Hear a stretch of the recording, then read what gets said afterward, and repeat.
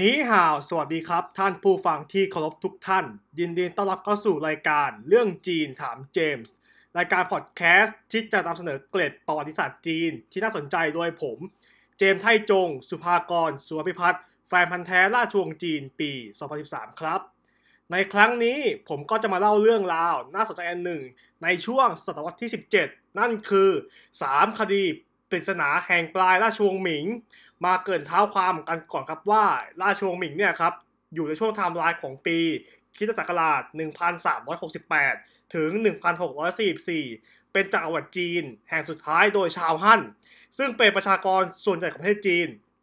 แล้วราชวงศ์หมิงเนี่ยครับเป็นของคนท่นแซ่จู สถาปนาโดยจูหยวนจาง หรือจักรพรรดิหงอู่ มีจักรพรรดิหรือฮ่องเต้ ในทำเนียบเป็นจำนวนทั้งสิ้น 16 พระองค์ โดย 3 คดียิ่งใหญ่เนี่ยครับ เป็นเรื่องราวที่จะเป็นที่กังขาหาข้อสรุปยุติไม่ได้จนถึงปัจจุบันล้วนเกี่ยวข้องกับบุรุษคนหนึ่งครับเขาคนนี้ครับมีนามว่าจูฉางลั่ว มีศักดิ์ไปถึงโอรสวรรค์จักรพรรดิคนที่ 14 ของต้าหมิง หรือฮ่องเต้ที่ท่านกำลังชมจากหน้าปกคลิปนี่แหละครับคดีที่เกิดขึ้นกับเจ้าหนุ่มชีวิตเนี่ยมีสตอรี่เป็นยังไงบ้าง มาชมกันเลยครับ 1. ถิงจีอันคดีไม้พองจู่โจม ในรัชสมัยจักรพรรดิว่านลี่ หรือฮ่องเต้หมิงเซินจง เป็นช่วงที่ต้าหมิงเข้าสู่ยุคเสื่อมโทรมอย่างแท้จริง เป็นช่วงขาลงนั่นเองครับ แม้ว่าจะทรงเป็นฮ่องเต้ที่ครองราชยาวนานที่สุดในราชวงศ์หมิง เป็นเวลายาวนานถึง 48 ปี ครองบัลลังก์ตั้งแต่ 8 ขวบ แต่ก็เป็นจักรพรรดิที่ใส่ใจราชกิจแค่ 15 ปีแรกของรัชกาลเท่านั้น หลังจากนั้นก็ทรงเกียรติค้านว่ากันว่าเหตุที่พระองค์ครับไม่ยอมออกราชการเลยเนี่ยเพราะว่ามีปัญหากับเหล่าขุนนาง เรื่องการแต่งตั้งรัชทายาทและเรื่องไข้จืดนี่เองครับ ก็ถือเป็นชนวนเหตุของคดีปริศนาคดีแรกนี้เลยครับ ในช่วงพบค่ำของวันที่ 4 เดือน 5 ปีที่ 43 แห่งรัชสกว่านลี่ ตรงกับปีคริศักราช 1615 มีชายชะกันผู้หนึ่ง ถือไม้พลองลักลอบเข้าวังหลวง ชายคนนี้มีนามว่าจางชัย หรือชื่อหนึ่งคือจางอู่เอ๋ออู่ที่แปลว่าเลข5ครับผม five เอ๋อแปลว่าลูกชาย เขาเดินทางผ่านประตูตรงหวา ตรงหวาเหมือน ทางทิศตะวันออกของวังต้องห้าม บุกไปถึงวังฉือชิ่งฉือชิ่งกง ซึ่งเป็นวังที่ประทับขององค์รัชทายาทช่วงที่จางชัยกำลังเดินรับรับล่อๆอยู่นั่นนะครับ ก็มีขันทีเฝ้าเวรยามคนหนึ่งเห็นเข้า จางชัยเห็นว่าท่าไม่ดีแล้ว จึงนำใบไม้พองเนี่ยครับไปฟาดขันทีไม่ยั้งเลยเพื่อหวังปิดปากขันทีเคาะร้ายก็ร้องตะโกนขอความช่วยเหลือ ขันทีประจำฉือชิ่งกงครับเมื่อได้ยินเสียงโอดโอยข้างนอกครับ ก็พากันออกมาดูว่ามันเกิดอะไรขึ้น ก็พบกับจางชัยที่กำลังหลบอยู่ในชายคาวัง สุดท้ายจางชัยก็ถูกควบคุมตัวไปสอบสวนทันทีอ่าเรื่องมาถึงฮ่องเต้ครับผมฮ่องเต้ก็มีพระบัญชาให้ฟางฉงเจ๋อสมุหะราชเลขาธิการประจำหอบุรพาตรงเก๋อต้าเสี่ยซื่อคุณนางเนี่ยครับเป็นตำแหน่งขั้นห้าอ่าเจิ้งอู่ผินขั้นห้าขั้นห้าเอกด้วยนะฟางฉงเจ๋อได้รับพระบัญชาให้เป็นประธานสาสารคดีนี้โดยด่วนทว่าเขากลับดำเนินงานรวบรัดตัดต่อไปมากอามาดฟาครับถวายรายงานให้ฮ่องเต้เพียงแค่ว่า จางชัยเป็นเพียงคนบ้า คนวิกลจริตฟั่นเฟือน แล้วให้ยุติการสอบสวนคดีเพียงเท่านี้ แล้วนำตัวจางชัยไปคุมขังไว้ที่คุก แต่เรื่องราวก็ไม่จบง่ายๆครับ เพราะหวังจือใช่เลขานุการประจำกระทรวงยุติธรรม สิงปู้จู่ซื่อขุนนางขั้นหกเอกเจิ้งลิ่วผินเขาเป็นคนเถนตรงขนาดไม้บรรทัดยังเรียกพี่เลยครับ เห็นว่าคดีนี้เป็นเรื่องใหญ่มาก ไม่ควรโดนสุดง่ายๆ ใต้เท้าหวังครับ ลงทุนไปสอบปากคำกับจางชัยด้วยตนเองในคุกเลย ได้ความมาว่า จางชัยได้รับการจ้างวานจากขันทีที่มีวงการเบื้องหลังครับสองคนด้วยกันคือผังเป่าและหลิวเฉิง ซึ่งเป็นขันทีที่คอยรับใช้พระอัครเทวีเจิ้ง เจิ้งกุ้ยเฟย จางชัยรับสาภาพว่าหากสามารถเอาชีวิตรัชทายาทได้ครับผมตนเองก็จะมีกินมีใช้ตลอดไปสุขสบายทั้งชาติเลยครับไทจือคนปัจจุบันเนี่ยครับก็คือองค์ชายใหญ่จูฉางลั่วท่านประสูติเมื่อวันที่ปีที่9นะครับขออภัย แห่งรัชสกว่านลี่ แม่ของเขาคือพระราชเทวีหวังกง หรือหวังกงเฟย ซึ่งเดิมทีเคยเป็นเพียงนางกำนันประจำวังฉือหนิงฉือหนิงกงที่คอยรับใช้จักรพรรดินีพันปีหลวงหลี่ หรือหลี่ไทเฮาพระมารดาแท้ๆของฮ่องเต้ว่านลี่ แล้วต่อมาครับก็ได้มีโอกาสปฏิบัติฮ่องเต้ด้วยกันครับ จนนางตั้งครรภ์และลูกที่คลอดออกมาก็คือจูฉางลั่วครับฮ่องเต้ว่านลี่ดูแคลนนางหวังว่าเป็นเพียงหญิงต่ำต้อยเป็นแค่นางกำนัน สามยังไม่ยอมรับจูฉางลั่วได้ว่าเป็นโอรสของตัวเอง จนไทเฮาครับ ต้องสั่งขันทีนำบันทึกเน่ยฉีจูจูซึ่งเป็นบันทึกประจำวันในแต่ละคืนนั่นนะครับฮ่องเต้ทรงประทับที่ไหนบ้าง มายืนยันแกมบังคับให้ฮ่องเต้ยอมรับที่สุดแล้วฮ่องเต้ก็จำต้องยอมรับ เพราะจำนวนต่อหลักฐาน แต่อย่างไรก็ตามครับฮ่องเต้ว่านลี่ก็ยังเย็นชาต่อสองแม่ลูกนี้อย่างสิ้นเชิง เมื่อเหล่าโอรสของว่านลี่เติบโตขึ้นจนถึงเวลาที่ว่านลี่ครับต้องแต่งตั้งไทจื่อและ จักรพรรดิว่าลี่มีพระประสงค์อยากแต่งตั้งองค์ชายสามจูสางสินที่กำเนิดจากเจิ้งกุ้ยเฟย พระอัครทวีคนโปรดเป็นชายาติมากกว่า แต่ตามกฎบนเทียมบานนะครับ และแรงกดดันของทั้งไทเฮาเอง แล้วก็ขุนนางสำนักตงหลินสำนักตงหลินนะครับเป็นขั้วการเมืองของราชงหมิงที่ยึดมั่นในคำสอนของคงจื้ออย่างเคร่งครัด neo confucianism อะครับ ซึ่งไม่ภาพหนักแน่นว่าไทจื่อต้องเป็นอรคนโตหลังโต้เถียงกับเหล่าขุนนางยาวนานกว่าสิบปีในที่สุดฮ่องเต้ก็ต้องจำยอมครับแต่งตั้งจูฉางรั่วที่เป็นอรคนโตเนี่ยวัยสิบเก้าปี ให้เป็นมกุฎราชกุมารประเด็นดังกล่าวเนี่ยครับทำให้มีคนวิเคราะห์ไว้ว่า ที่จะพัดว่าลี่ครับวางมือจากราชกิจนะครับสาเหตุหนึ่งเลยครับก็คือเพราะแตกหักขุนนางเรื่องนี้เองครับเสริมเกิดยังไงครับว่า รัชทายาทของต้าหมิงนะครับจะเรียกเต็มๆว่าห่วงไทจื่อห่วงแบบห่วงตี้ครับผม ซึ่งการพิจารณาระดับแรกครับ จะต้องเอาโอรสคนแรกที่ประสูติจากจักรพรรดินีหรืออัครมเหสีครับผม แต่ถ้าคองเฮาไม่มีลูกแล้ว ค่อยเลือกโอรสคนโตที่กำเนิดจากมเหสีคนอื่น พวกเฟย พวกปุ้ยเฟยอย่างเงี้ยครับหรือสนมก็เลยก็ได้ครับสำหรับเคสวาลี่ก็คือคองเฮาของท่านน่ะไม่มีลูก ไม่มีลูกชายมีแต่พัทิดาครับดังนั้นจูฉางล่วที่เป็นโอรสคนโตของวาลี่ แม่แม่ของเขาจะไม่ได้เป็นอัครเมสีเป็นแค่เออเฟยครับผมเป็นพระเทพราชเทวี ก็ถือว่ามีสิทธิ์ในราชบัลลังก์อย่างถูกต้องตามคันลอง คดีนี้เป็นที่กล่าวขวัญทั่วราชสำนักทำให้เจิ้นปุยเฟยรีบไปเข้าเฝ้าร้องไห้ขอความเป็นธรรมทันที จากว่ารีดที่ไม่ออกว่าการมาหลายสิบปีนะครับ มาคราวนี้ถึงกลับเปิดประชุมขุนนางณชื่อชิงกง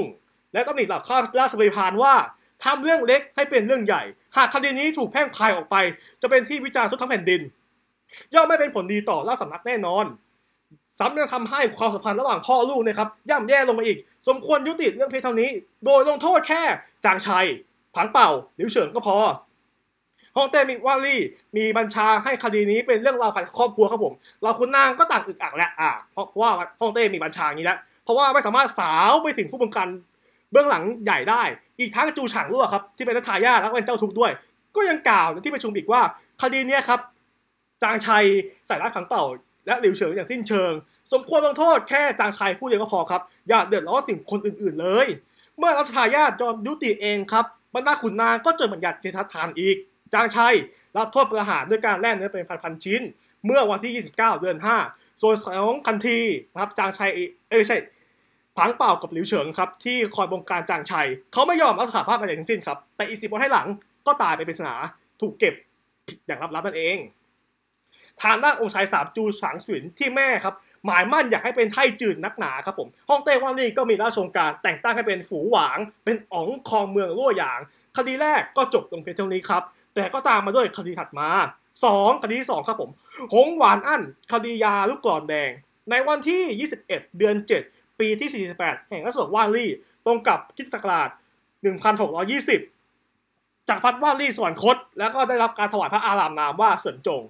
ไทจืดจูฉางรั่ววัย38พรรษาสวยราชเป็นจักรพรรดิไทชาง ในวันที่ 1 เดือน 8 ในรัชกาลใหม่นี่เองครับฮ่องเต้คนใหม่ก็ไฟแรงครับผมขยันตากตามราชกิจไม่เหมือนพ่อ แล้วสำนักต้าหมิงที่เคยเงียบเหงา ก็กำลังสอบแววที่จะรุ่งโรจน์อีกครั้งหนึ่ง แต่แล้วในวันที่ 10 ครับ ทุกอย่างก็เริ่มเปลี่ยนแปลงไปอ่าฝ่าพระบาททรงกระประชวรหนักครับผมคันที่คนหนึ่งชื่อชุยหวนเชิงปึงโอสถถวายจักรพรรดิซึ่งว่าว่าไอ้ยาเนี่ยเป็นยาถ่ายด้วยครับ จนกระทั่งในวันที่ 14 ครับผม 4 วันต่อมา ฮ่องเต้มีอาการท้องร่วงอย่างรุนแรง ว่ากันว่าเพียงแค่วันเดียวครับผม ก็ถ่ายหนักมากถึง 30 ผลเลยทีเดียว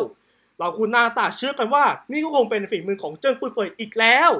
เพราะว่ามันมีหนังสือที่ชื่อว่าเออจุ้ยเหวยลู่ บันทึกอัตชีวประวัติของคนช่วงปลายราชวงศ์หมิง ได้เขียนเอาไว้ว่า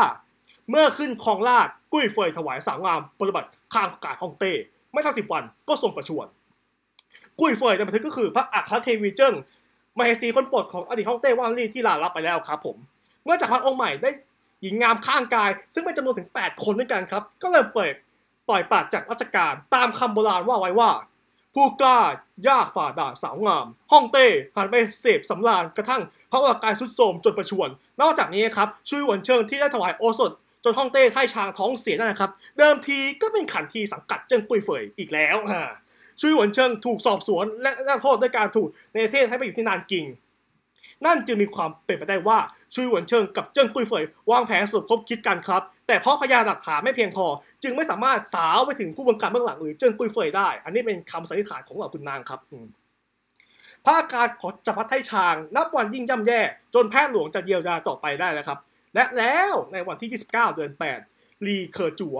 ปลัดกรมราชวิธี หงหลู่ซื่อเฉิงขุนนางขั้นหกโทฉงลิ่วผินกล่าวว่าตนมียาดี เรื่องไปถึงพระกรรณฮ่องเต้เลยครับ มีพระบัญชาเรียกตัวเข้าเฝ้าโดยด่วนตามภาษาฟางเส้นสุดท้ายที่สามารถคว้าอะไรมาได้คนก็ขอคว้ามาก่อนครับหลี่เข่อจั๋วถวายยาวิเศษที่อวดอ้างว่ามีสรรพคุณเป็นยาอายุวัฒนะของเซียนอ่าเซียนเต๋าครับผม ซึ่งฮ่องเต้ราชวงศ์หมิงแทบทุกพระองค์เนี่ยครับก็มีความศรัทธาในศาสนาเต๋าเป็นทุนเดิมอยู่แล้วอ่าฮ่องเต้ไทชางก็ยินแล้วแบบโอ้ เออมีทางรอดแล้วกูประมาณนี้ครับจักรพรรดิไทชางก็รับถวายยาเม็ดสีแดงมา เมื่อเสวยไปเม็ดนึงแล้วเพียงครึ่งชั่วยาม ท่านก็รู้สึกอบอุ่นไปทั่วพระวรากาย แล้วก็ทรงอยากอาหารมากขึ้น ฮ่องเต้ถึงกับตัดถึงกับตรัสชมอ่าหลี่เข่อจั๋วเนี่ยครับว่าหลี่เข่อจั๋วคือสุดยอดขุนนางซื่อสัตย์ภักดีคำว่าซื่อสัตย์ภักดีครับผมในภาษาจีนกลางเรียกว่าจงเฉิน ถ้าเราแปลงคำที่เราหลายคนจะรู้จักกันดีครับผม ก็คือคำว่าตงฉินนั่นเอง ประมาณห้าโมงเย็นของวันนั้นเองครับห้องเต้สวยยาไปอีกเม็ดหนึ่งแล้วก็เข้าบรรทมครับ แต่แล้วในวันรุ่งขึ้นตอนเช้ามืดประมาณตีสามตีสี่จากวัดไทช้างสวนโคตครับอ้าวตรงกับวันที่หนึ่งเดือนเก้าซึ่งเมื่อย้อนกลับไปดูวันที่ไทชางราชาพิเศษแล้วครับผม เป็นเวลาครบหนึ่งเดือนพอดีทำให้พระองค์ถูกขานกันในนามว่า อีเย่ห่วงตี้จักพักเดือนเดียว ฟางฉงเจ๋ออมาตคนเดิมที่เคยสะสางคดีไม้พลองแบบรวบรัดนะครับ เขาดำรงตำแหน่งเสนาบดีกระทรวงพิธีการหลี่ปู้สร้างสู่ควบกับสมุหราชเลขา มีความสมานอันดีกับเจิ้งกุ้ยเฟย เขารีบปิดคดีนี้อย่างรวดเร็ว โดยแค่ส่งตัวปลัดหลี่ครับเข้าห้องขังนั้น แล้วก็ภายหลังหลี่เขอจัวนะครับก็สูตรเอเทไปเป็นทหารเวรยามที่นานกิงอ่าคล้ายๆกับชุยเหวินเชิงเลยนะทำให้มีคนเชื่อมโยงไว้ว่า หลังคดีไม้พองเพียง 5 ปีครับผมเจิ้งกุยเฟยที่เคยอยู่อย่างสงบเสงี่ยม ก็ก่ออาการกำเริบขึ้นอ่า โดยครั้งนี้ครับใช้ยาเพียงแค่ 2 เม็ดซึ่งกล่าวกันว่าเป็นยาลูกกรอนที่มีส่วนผสมของเลือดประจำเดือนของสตรีพรหมจรรย์นี่จึงเป็นที่มาของคดียาลูกกรอนแดง คดีที่ต้องยุติลงไปพร้อมกับการสอนคดอย่างเป็นภาษาของจักรพรรดิไท่ชาง สังเกตได้ว่าคดีแรกเกิดขึ้นกับจูฉางรั่วตอนเป็นเจ้าชายาติคดีต่อมาก็เกิดขึ้นตอนเป็นฮ่องเต้ไท่ชางแล้ว จนเป็นเหตุให้ท่านทรงสวรรคต และแล้วคดีสุดท้ายก็ยังผูกพันกับจูฉางลู่อยู่ดีนั่นเพราะว่าเกิดขึ้นกับลูกและเมียของพระองค์ คดีที่สามครับผม อีกงอั้น คดีย้ายวัง จากพระไทชางสวรรคตแล้ว หลังครองราชเพียงเดือนเดียว ได้รับการถวายพระอารามนามเป็นกวงจง พระบรมศพของท่านตั้งไว้ที่วังเฉียนชิง เฉียนชิงกง เมื่อบ้านราชวังลังว่างลงครับผมราชสมบัติตกเป็นขององค์ชายจูโหยเจี้ยววัย 15 ปี ซึ่งเป็นพระโอรสองค์โตของฮ่องเต้หมิงกวงจง หรือจูฉางลั่วครับผม และเนื่องจากจูโหยเจี้ยวกับพระมารดามาตั้งแต่วัยเยาว์จึงได้นางหลี่หลี่เสวียนซื่อ นางสนมของฮ่องเต้ไทชางเลี้ยงดูตลอดมาสำหรับคำว่าเสี่ยนซื่อในสมัยราชวงศ์หมิงนะครับ โดยปกติเป็นตำแหน่งสนมของห่วงไทจือ แต่ถ้ามีฐานะเป็นเมียฮ่องเต้จะกลายเป็นขั้นของนางสนมระดับล่างครับหลีเสี่ยนซื่อเป็นสนมของจูฉางรั่วตั้งแต่ยังไม่เป็นจักรพรรดิไทชาง เมื่อจูฉางรั่วขึ้นเป็นจักรพรรดิแล้ว นางก็หมายมั่นอยากเป็นพระอัครเมสีหรือฮองเฮาแต่เมื่อผ่านไปเดือนเดียวห้องเต้สวรรคต ความหวังความหวังในตำแหน่งฮองเฮาพานทายลงทันที พียงพริบตาเดียวครับหายไปเลย ดังนั้นนางจึงหมายปองฐานนอนใหม่ นั่นคือ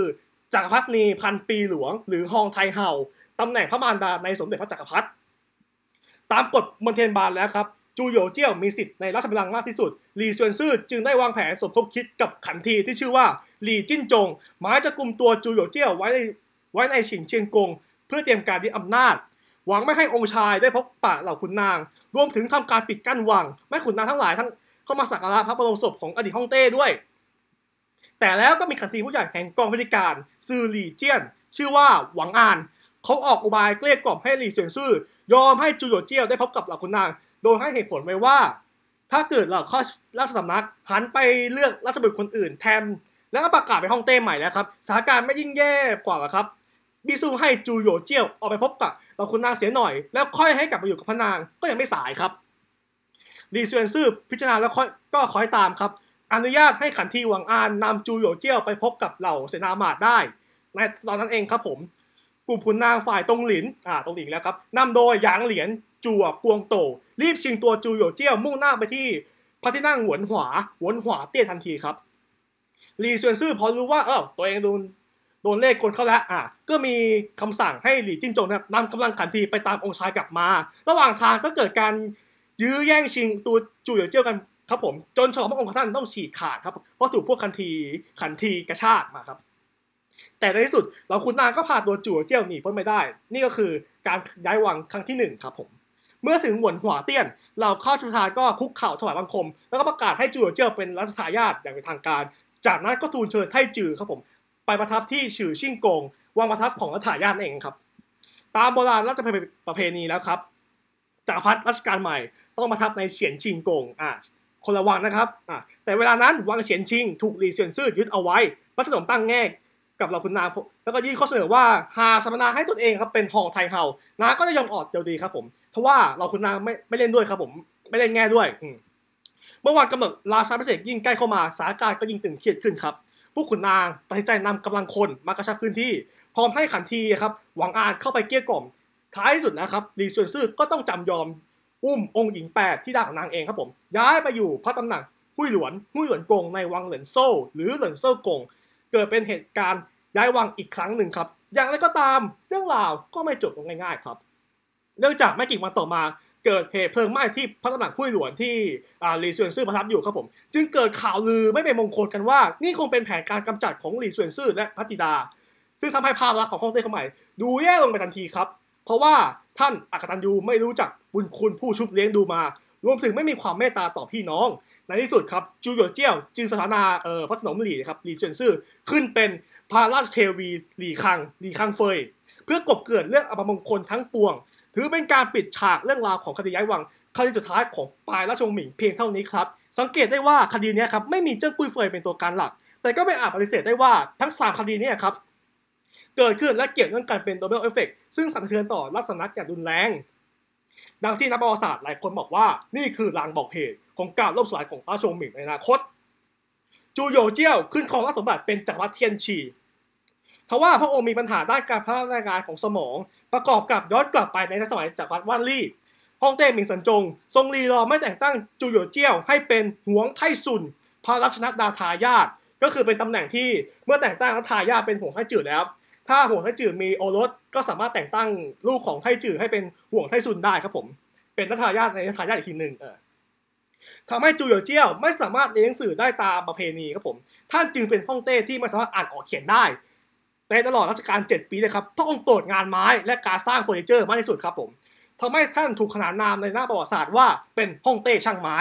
ส่วนรัชกาลนี้ทั้งหมดครับตกไปอยู่ในกำมือของขันทีหลี่จิ้นจงที่ผมเพิ่งเพิ่งกล่าวไปเมื่อกี้ ซึ่งต่อมาเขาก็คือขันที เว่ยจงเสียน มหาขันทีที่ทรงอิทธิพลที่สุดในปายราชวงหมิง แผ่นดินต้าหมิงสอเข้าลาถึงการอวสานแล้ว ส่วนทางด้านราชาฝูจูสางสุยนะครับที่